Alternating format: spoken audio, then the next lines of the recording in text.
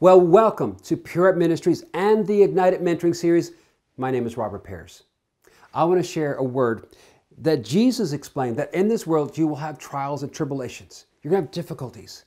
But he said, Be of good cheer because he overcame the world. And I want to share insight about overcoming difficulties from Kathryn Kuhlman.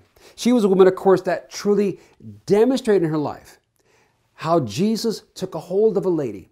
She blew it, fell, I mean, but God got a hold of her. She repented, restored, and she began to live it out. Now, having a greater revelation of the Lord Jesus, of his mercies. She walked through great difficulties, but discovered the God of all comfort. And as she laid hold of that comfort, she was able to bring that comfort to others. And that's God's desire, is that God would bring you into such a place of great victory in Him of comfort in Him, that you would know that He is the God of all comfort. What a wonderful thing that He wants you to get such a revelation of His comfort that you're able to tangibly share it.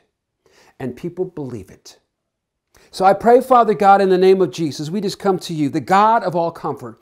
Give us such a now word, a right word that ministers to each person, no matter where they're at. Father, they're going through difficulties. Let them discover that they can believe in you and believe also in Jesus and to receive the victory won.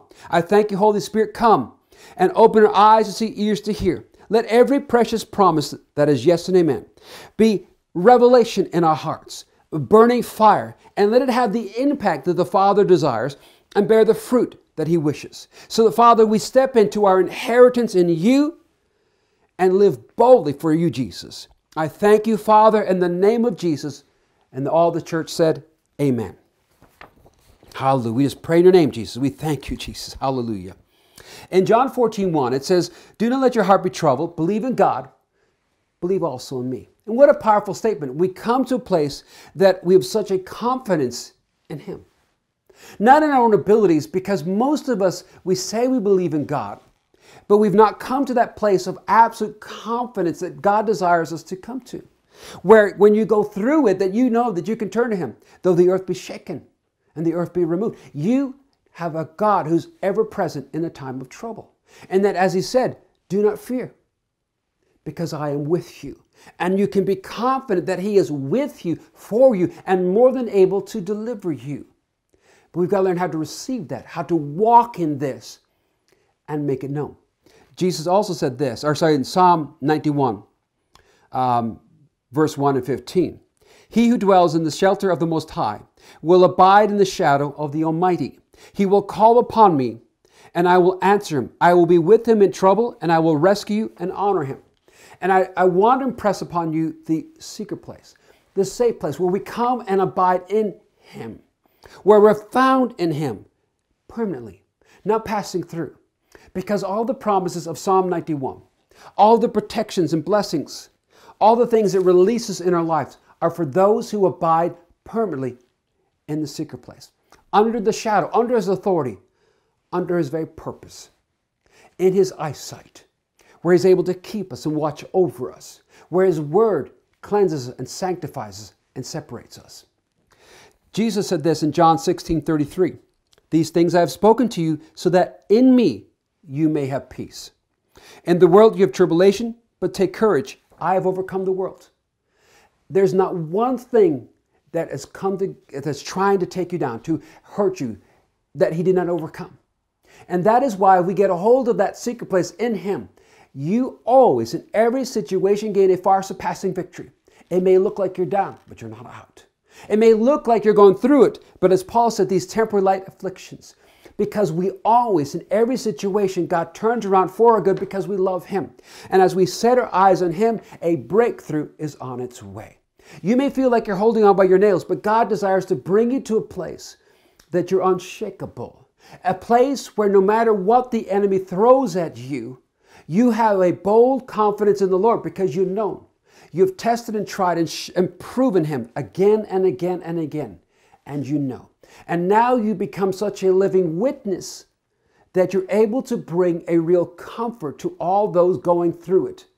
There's a depth to it, there's a height to it, and there's a reality to it that people see.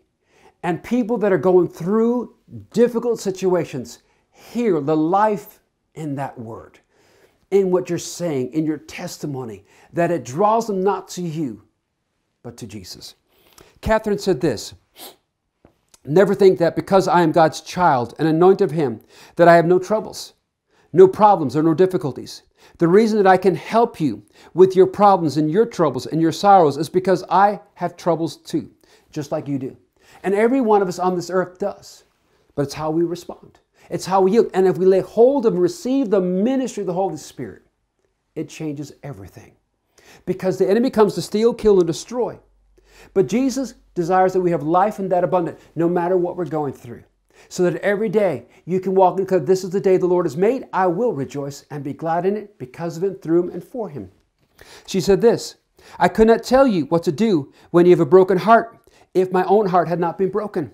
I could not give you words of comfort if I had not gone through sorrow myself and been comforted by God, who is the God of all comfort.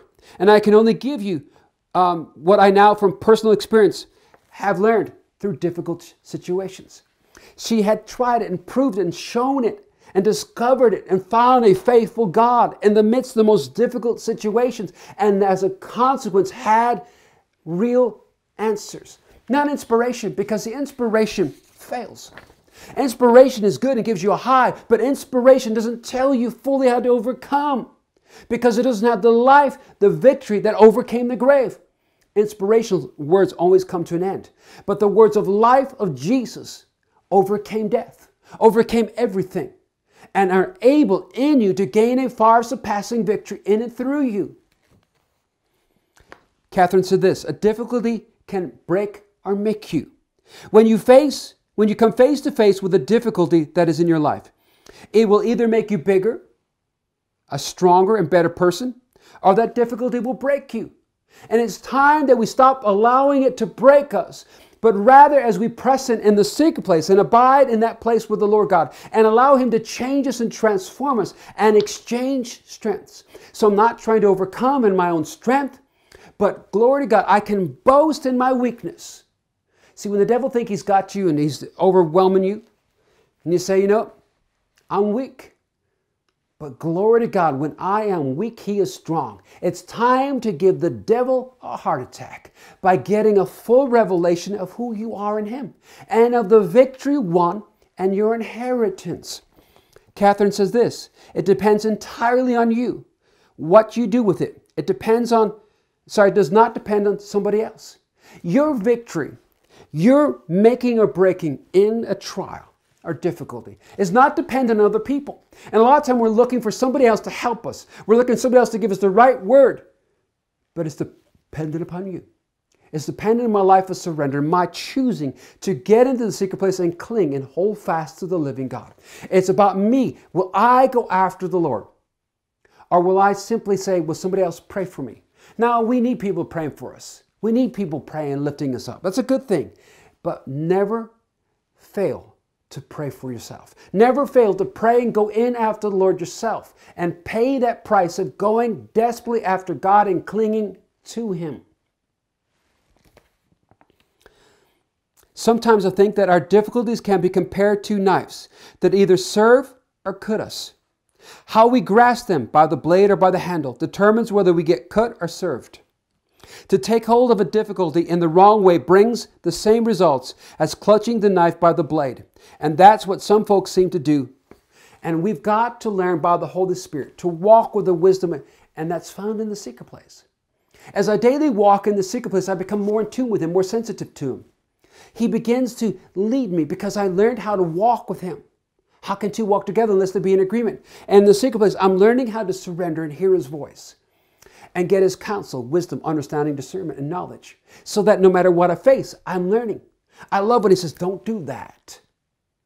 And I'm now hearing that, and I don't. And I look back at how much of my past the Spirit spoke in that still small voice. But it was drowned out by my own lusts and desires. But I'm hearing more. And I've now learned how many times when I didn't do that, I can look back and say, Thank God I didn't do that and see the victory and see where I would have been had I continued on the old path. Something's got to change, and it's got to change in you and I in the secret place as we surrender and yield and allow the Holy Spirit to have his way and reveal Jesus. Um, Kathryn Kuhlman said this But when you grasp your trouble by the handle, you can use it to your advantage and become gr- the greatest and most valuable tool that had ever came in your life. When we learn how to take a hold of things and run to the Lord and get a powerful breakthrough, breakthrough and victory, it will so scar you in a good way that you know that your God's for you, with you. Your faith will be stirred and enlarged because you'll discover that He cares for you and that He's faithful to you. And you get a testimony. You get a witness that you can share of the great goodness of the Lord. We must never forget that it is God's purpose to make stronger men and women of us. God never created you or me to be weak or defeated. And God doesn't intend for you to walk in defeat. God expects in every test that we go through that we pass because He's with us. And if we would learn to abide in Him in that secret place where we hear Him, there's not one circumstance, one situation that you go through that you would not overcome and walk victoriously. We should be proud that God deemed us able to handle the trouble. What a thought! That God, you looked at me and you saw in me the ability to pass the test. And you fully expect me to pass it. And that you are with me. What an honor. And that in the midst of this, I'm coming out with a far surpassing victory. And that as I love you, you're turning everything around for my good and to bring me to a place where I'm blessed to be a blessing, where you now have something real to share. Many people want to have a story that they can give, a testimony. And God wants to give you such a testimony of victory, not inspiration, but life, so that people going through it now have something real that they can turn to. Where people discover that the precious promises are not just nice words we stick on the walls, but are living and they are real and they produce results because you are a living epistle demonstrating that. Uh, Kathryn said this.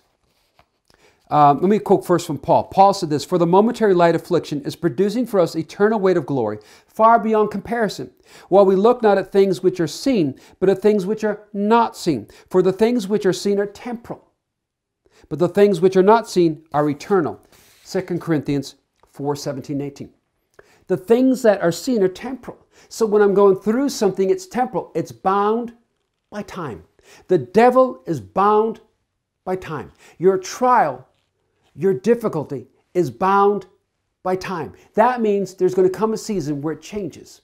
There's going to come a moment where the clock hits that second, that very moment, where everything has to change and an end comes.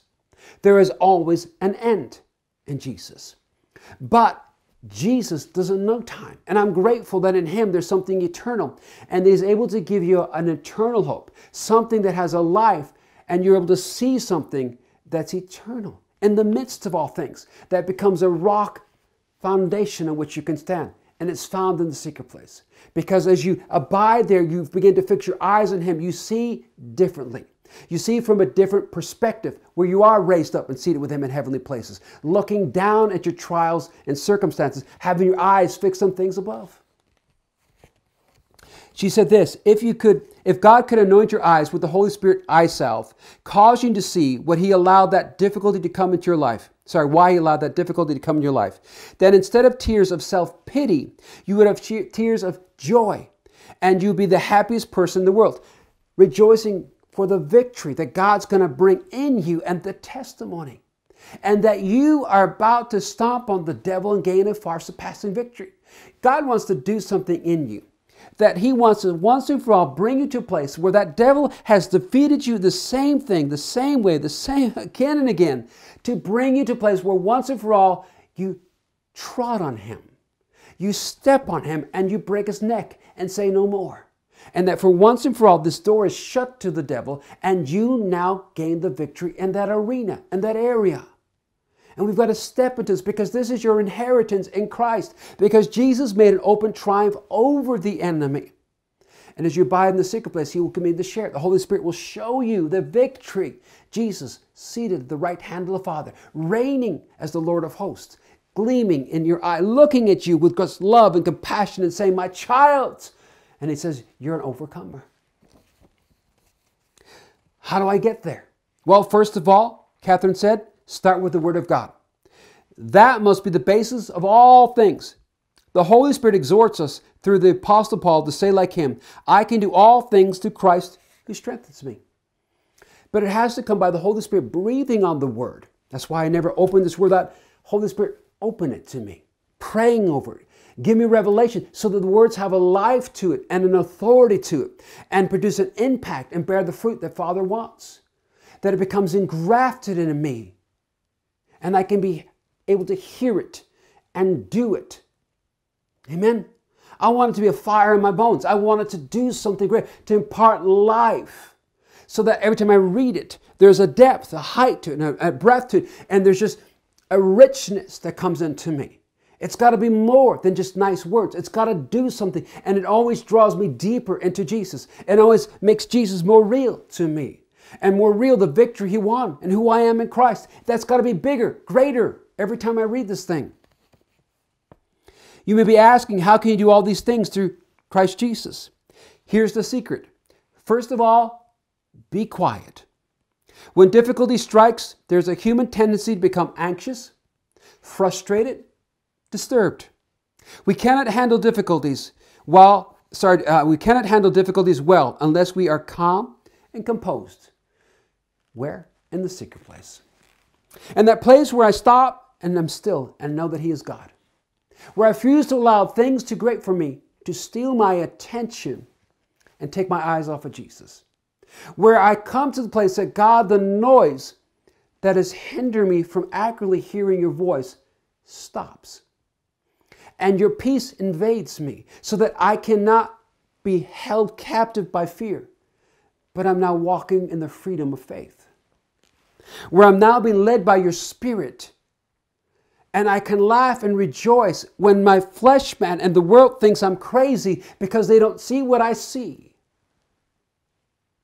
You're teaching me a new way of living. I'm no longer walking according to a natural order, but as Romans 8 says, a, a spiritual order led by the Spirit, where there's life and peace in Him. I'm not held under the cycle of my natural difficulties going around a mountain again and again, facing the same thing and being defeated again and again. That cycle breaks in Jesus. That cycle ends in Jesus because I and Him gain a far surpassing victory, and I am more than a conqueror. The first essential, therefore, is to get quiet. Go someplace where you can be alone, and I'm going to tell you it's the secret place. That place where I just go after God with all my heart, my soul, my mind, my being, where I just long for Him. I just love on Him. Surround worship. I get my mind focused on Him. You got to change the climate. Sometimes you just got to enter in worship. Sometimes it gets easier and easier as you go in and spend more time going into the secret place and getting after Him. Where that climate very quickly invades and fills you. You become more and more conscious of Him and His touch and the minute he touches you, everything stops. Everything ceases. Because he always calms the storm. He always brings a peace. So cling to him. Don't let go until that peace comes. Get your eyes in. It's not emptying your mind, it's getting your mind fixed on him.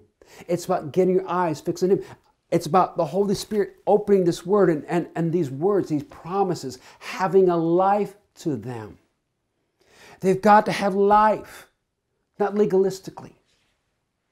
But I come to the well, and the Holy Spirit opens, and they're not tales, they're not stories, they're life.